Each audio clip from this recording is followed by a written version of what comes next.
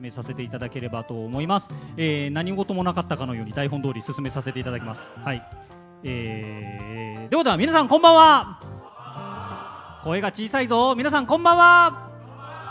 ありがとうございます。俺を好きなのはお前だけかよ、えー、第1話先行上映会にお越しいただきまして誠にありがとうございます、えー、本日司会進行を務めます。アニプレックスの中山と申します。よろしくお願いいたします。ありがとうございます。はい、えー、というわけでですねあの会場に来ていただいている皆さんにはですねどこよりも早くあ本当に多分ねどこよりも早くだと思います。一番をご覧になっていただきましたがいかがでしたでしょうか？おありがとうございますこういう時に拍手って便利ですよね。なんかいろいろねいろいろ表すから。ありがとうございます。はい。というわけでですねここからは本作のメインキャストの方々、えー、来ていただいてますので一緒に、えー、俺好きの魅力をお届けしたいと思いますので、えー、皆さん大きな拍手でお迎えください。では、えー、この方々です。常連役山下大樹さん。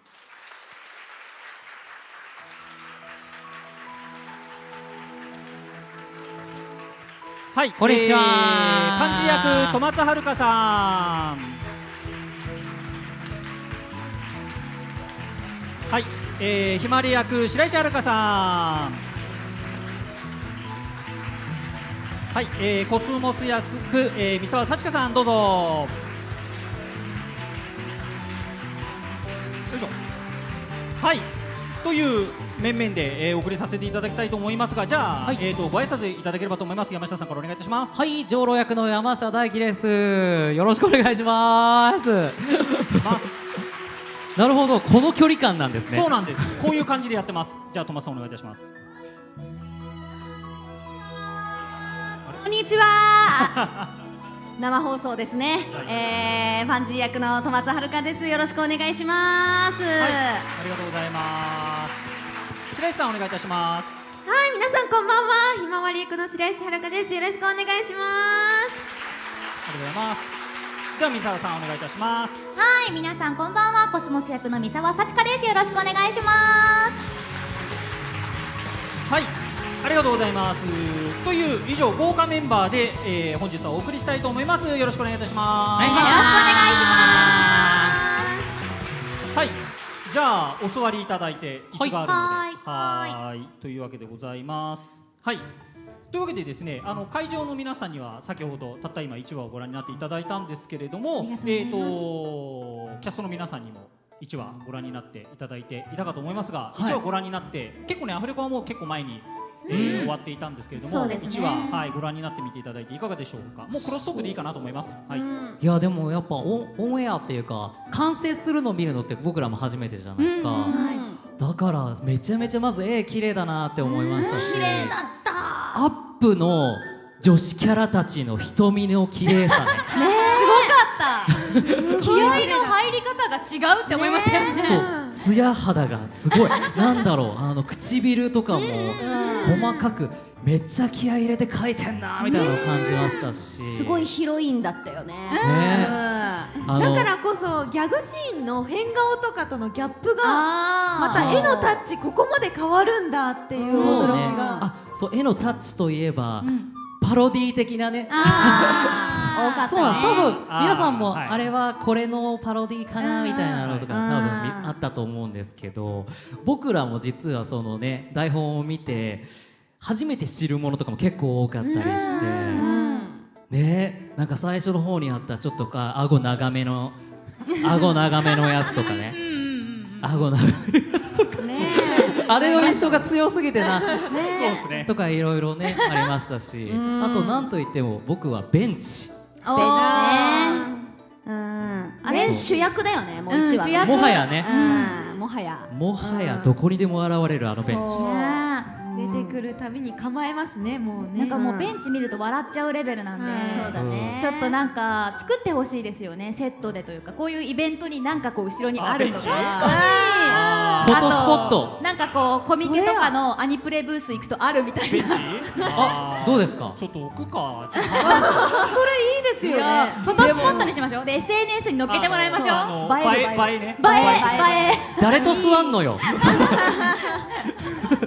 どっち側かはあのお客さんの好きな通り。上路君側かこうやる側髪の毛こうやるこっちか。ねね確かに確かに。どっちやりたいかはお客さん次第で。お客さんそうね。あのーベンチシーンってこれまあ言うんですけど完全トレースしてるじゃないですか。うん。あのーいろんな方がいろんな方がって言い方がちょっと微妙な言い方なんですけどねまあ1話はね、まあ、ご覧になっていただいた方々わかると思うんです、あただちょっと今日、あの配信でご覧になられてる方もあるんで、まあ、ちょっと、はいあの本編をぜひ楽しみにしていただければと思いますが、まあ、ベンチの告白シーンで、ん。まあ、い。ろいろとちょっとこうネタが仕込まれていたりしてだいぶそうですね。あのね。意外とそれがずっと先の話数まで踏襲されるっていうですね、小ネタを仕込んでいるので、あいつあいつレギュラーなんだよ本当に。ね。あい。つねあそういった意味だとベンチってほぼレギュラーですよあれ多分。そうですよ。喋んねえくせに。喋んない あいつ美味しいな。美味しい本当ですよ。大体いますか。らね。なるほど、ありがとうそうですね。まあちょっとその話の流れで、えっ、と一話まあだいぶちょっと言っていただいた方もいらっしゃるんですけども、印象に残ってるシーンとかセリフとか、まあベンチっていうのがあったかと思うん。ですけど、なんか皆さんありますかね？あはい。おパンジーを探せ。あねあはい。そう思いました。あのーそうですね、はい。ちょっとこれもあのご覧になっていただければわかるんですけども、パンジーがいます。いますって言われます。それそうですね。でも本当そうなんですよ、あの隠れパンジーみたいな。隠れパンジー隠れパンジーはい。そう。あのとある理由でパンジーがねいろんなところにちょっといるんですよ、なので、全員見つ全部見つけられたら相当だと思いますね、確かに。1話に何パンジーいるんですかね？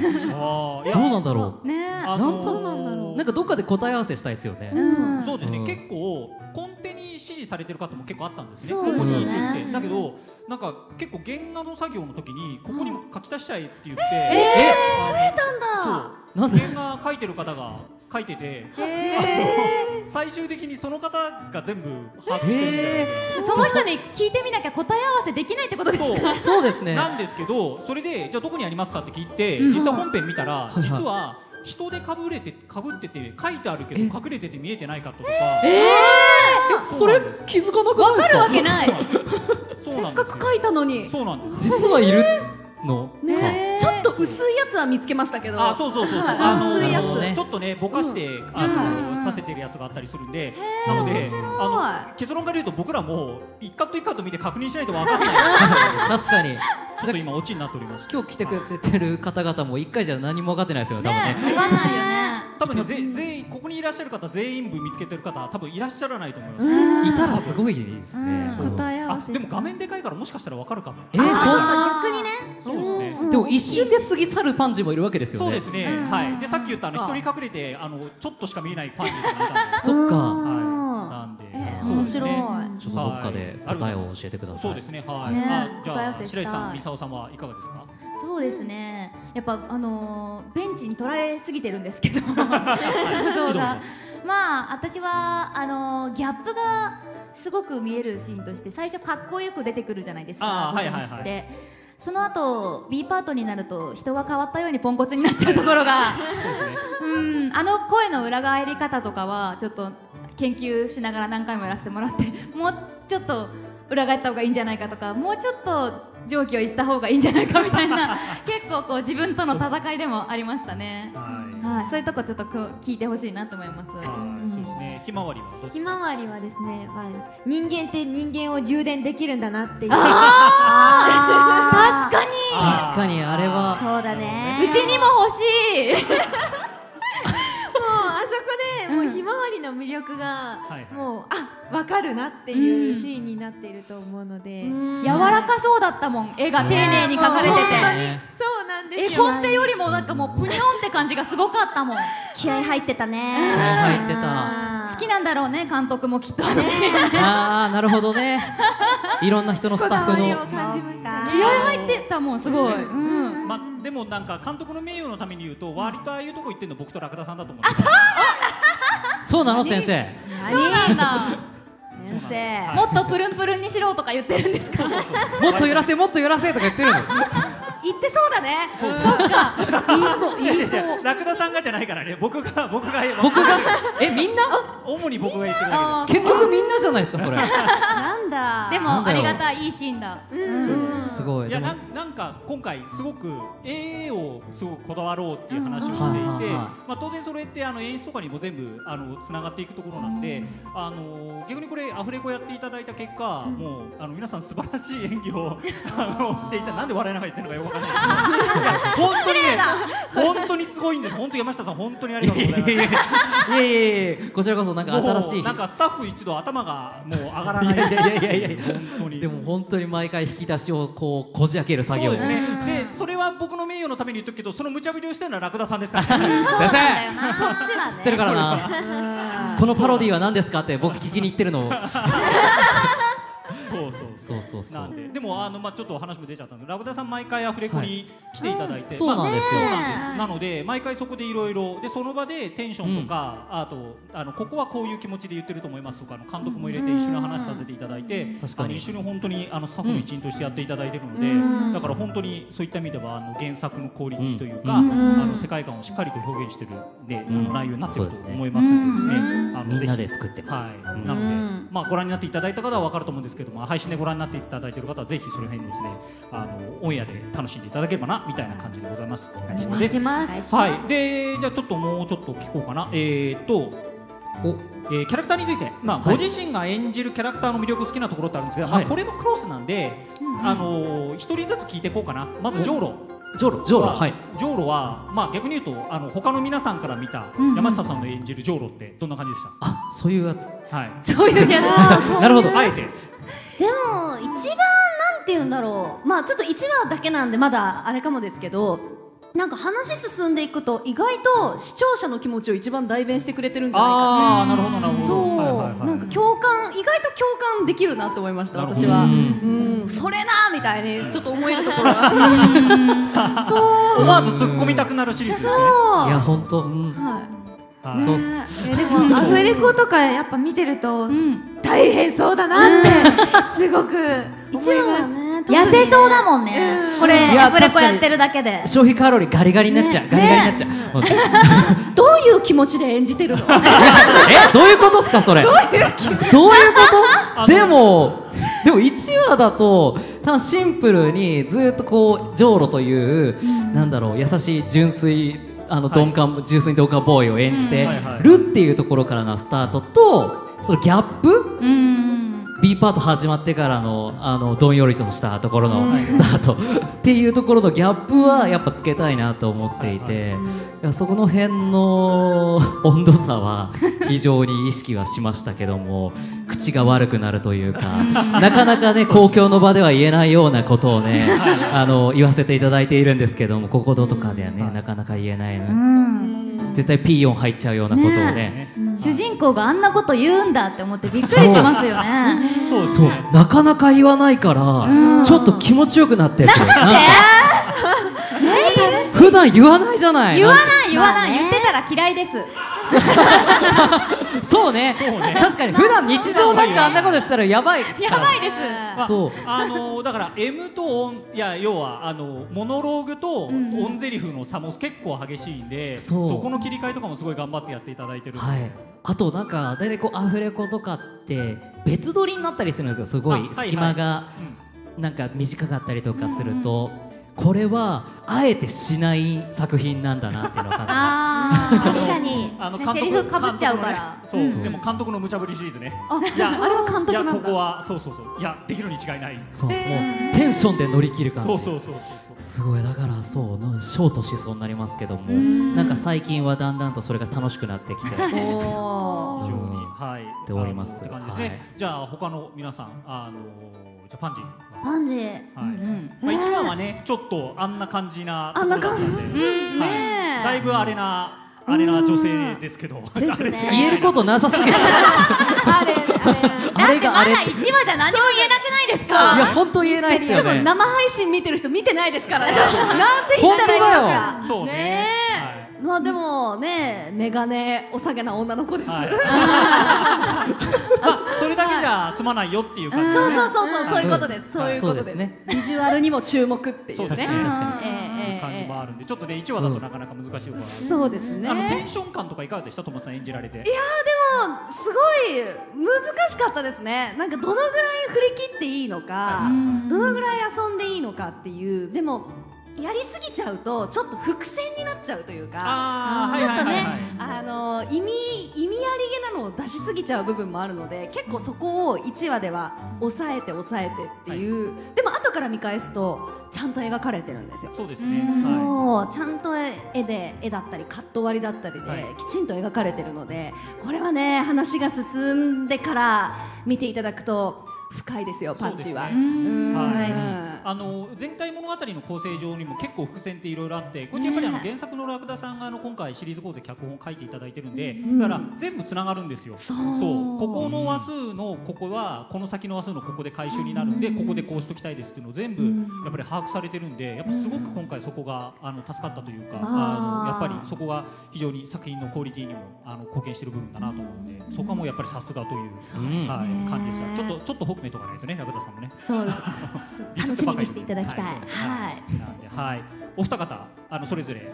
うん、はい、ね、あひまわりは本当にこう天真爛漫で元気いっぱいななんかみんなの妹的存在だと思うんですけど、うん、まあちょっと子供っぽいがゆえにこう無自覚にちょっとねじょうろに対してこう近かったりとか、うん、いろいろあってまあなんて言うんでしょうね。小小悪魔的存在なのかな。そうですね、まあ、天然天然っていうかね、まあ素であれをああいうふうにしてるっていうところかなって思うんですけど、まあでもこれからどんどんどんどんその可愛さっていうのがあのお話進んでいくにつれて楽しんでいただけるんじゃないかなと思います。まなんで笑うんですか？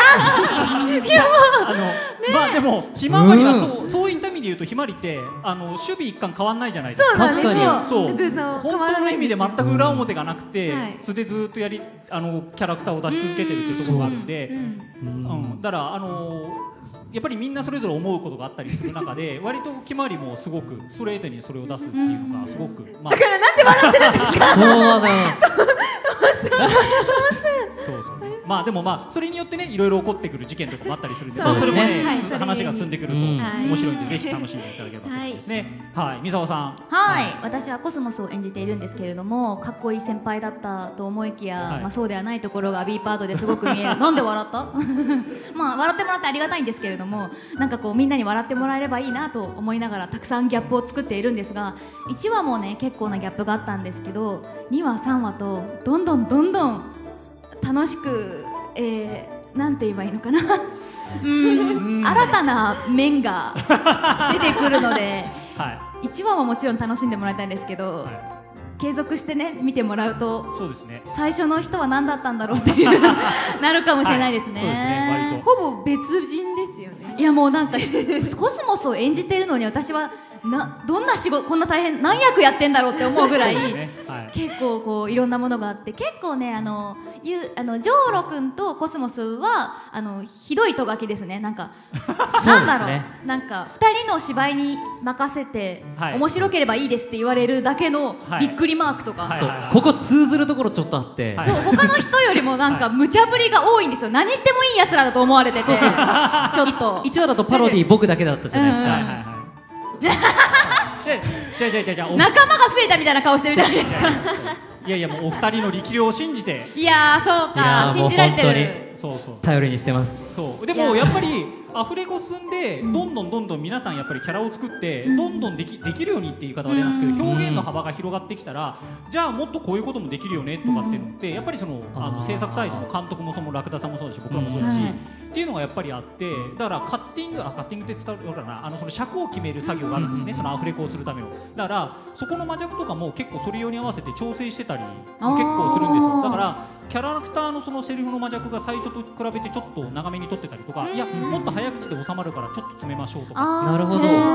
最初はねまだどんな喋り方するか読めないですもんね。だから結構それが後半になればなるほど、まあ、ある意味キャラクターに合わせてタイトっていうかフィットするように結構してたりするんでそこはやっぱりでもなんかちゃんとそれを皆さん答えていただいてたおかげかな。っていう。褒められたよかった。いやいやいや褒めますよすごい はい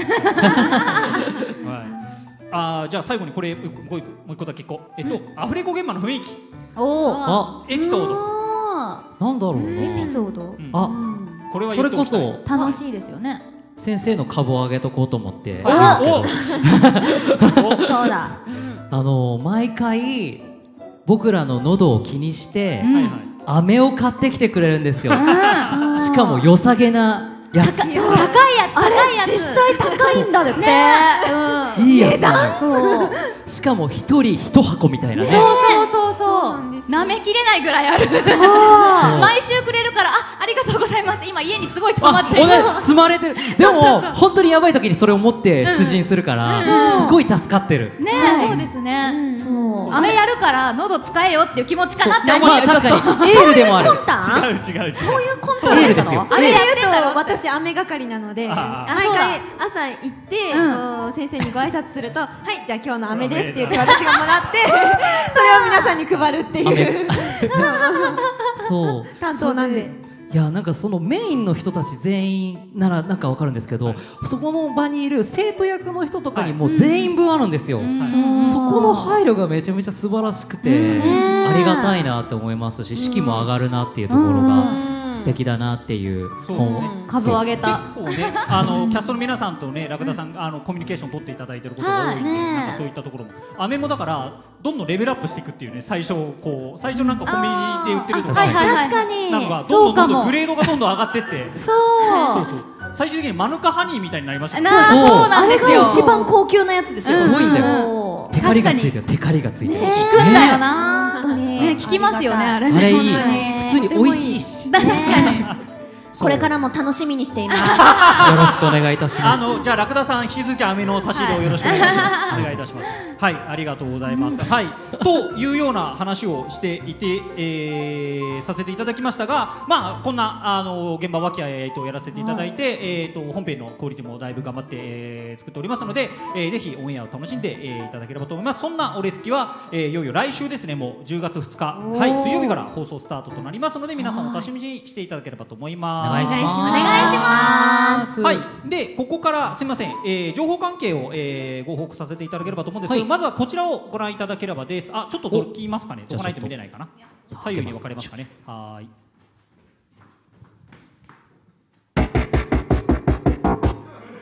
どうした。どうした？はい。はい、皆さん、何もなかった。かのように。データ消えたような、はい、何も。大丈夫かな？はい、大丈夫かな？気のせいです。誰かのデスクトップが見れたのは気のせいです。冒険の書は消えてないです、ね。大丈夫ですか？あ。んまえ？僕に起きた空前絶後の大事件。何しに来たの？コスモスさん。会いたい人に会いに来たのさ。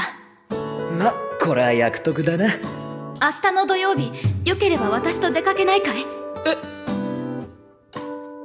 日私とお出かけ。ごめん土曜は無理。じゃあ日曜日。日曜は絶対。ああのジョロ君。はい。私には好きな人がいてだね。わ私は君の親友の大賀太陽君が好きなんだ。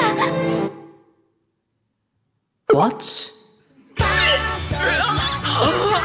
じ実はねその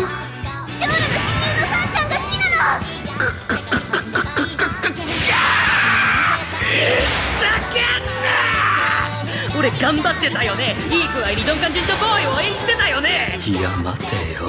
二人の女に一人の男。ワンチャンスあるんじゃないの？ああ春とか滅びねえかな。こいつこれで俺が好きじゃないんだぜ。頭おかしくね？いちいち好きでもない男の手を握るとか意味不明なんで。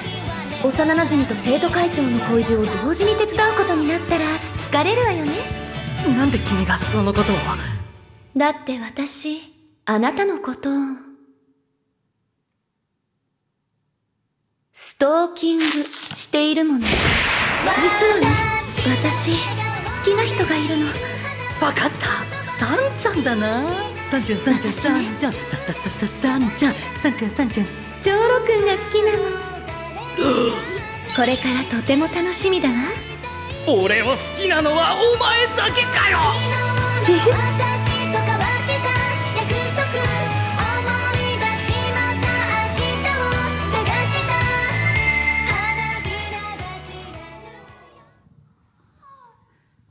はい、あまたかかる。おいおい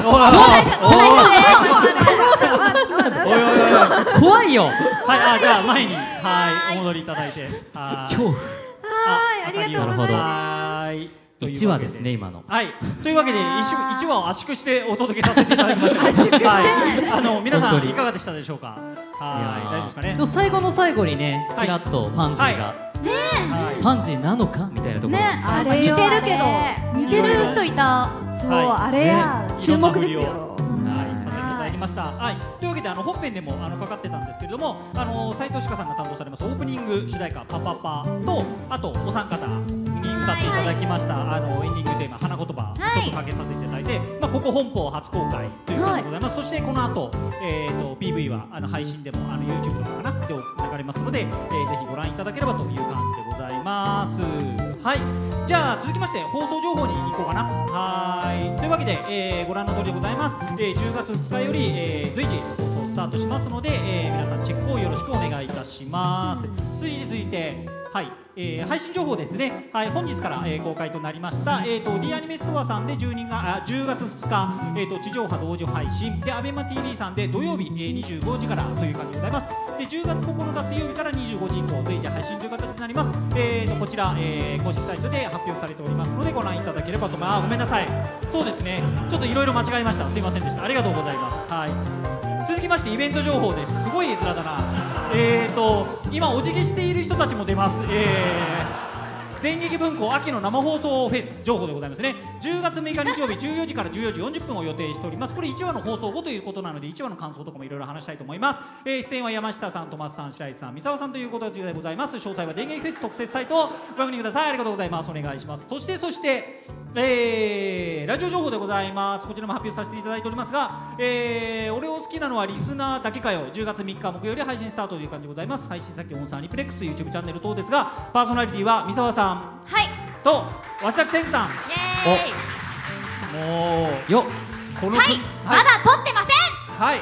お。なのでメールがまだ間に合います。皆さんメール番組に当ててよろしくお願いします。お。願いしますお願いします。はい。この組み合わせなので面白くならないわけがない。ねえ。そんなハードルをいや面白くしますって。ありがとうございます。しますって任せて。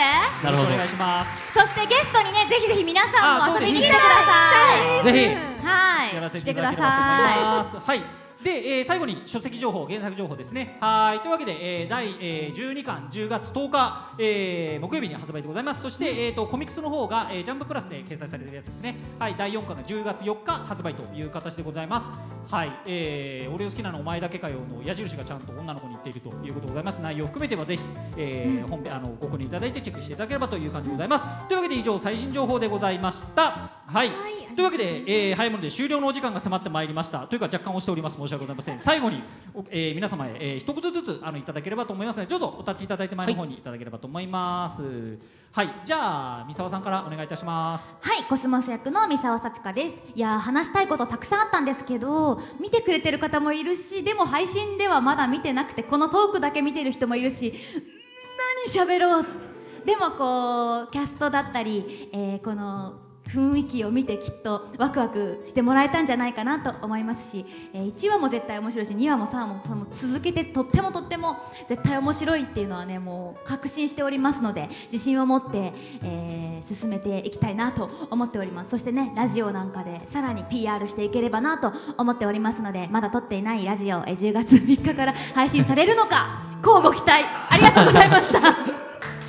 がとうございました、はい三沢さんありがとうございます。では白石さんお願いいたします。はい会場にお越しいただいた皆さんそして生配信を見てくださっていた皆さんありがとうございました。そうですね三沢さんがおっしゃっていた通りちょっとまだね言えないことがたくさんあるのでもう1話が終わった後に皆さんでねちょっと感想を言い合いたいぐらいなんですけれどもあの本当にこう次が気になる終わり方に絶対になってるんですよ前は。だからあの最終話まで絶対に見逃さないでいただきたいですしあのラブコメ好きな方もあんまり今まで見たことなかったよっていう方もすごく楽しんでいただける作品になっていると思いますのでこれからも、えー楽しみにしていただけたらと思います。よろしくお願いします。ありがとうございました。白石さんありがとうございます。では戸松さんお願いいたします。はい本日は本当にありがとうございました。生配信の方も本当にありがとうございます。いやーもうめちゃくちゃ面白いですこの作品。もう常にテンポがすごい速くてですね。なんかこれ本当に30分のアニメなのだろうかというぐらいの充実度。前は前は。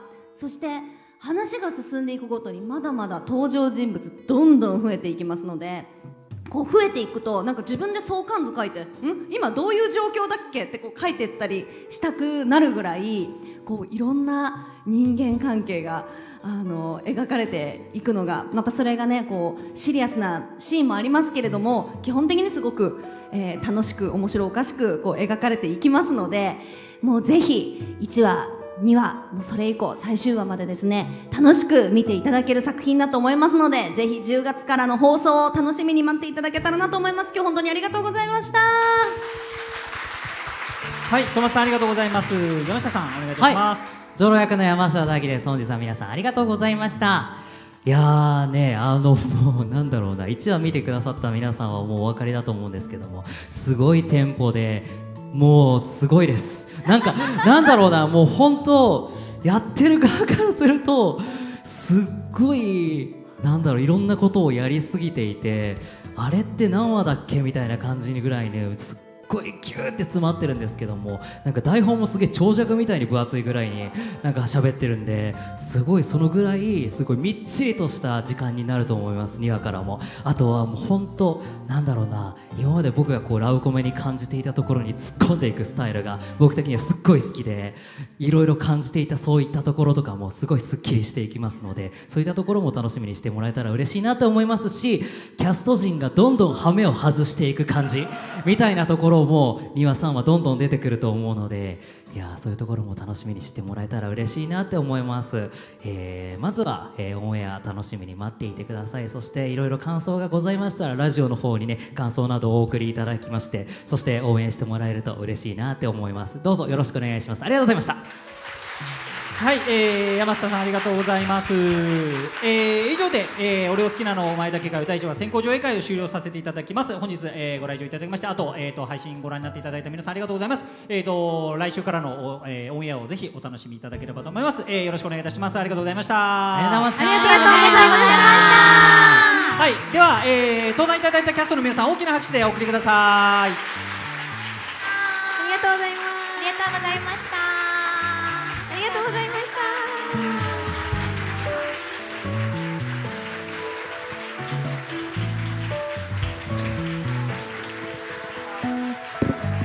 はい、えー、以上をもちましてイベント終了とさせていただきます、えー、本日は本当にありがとうございました。引き続きよろしくお願いします。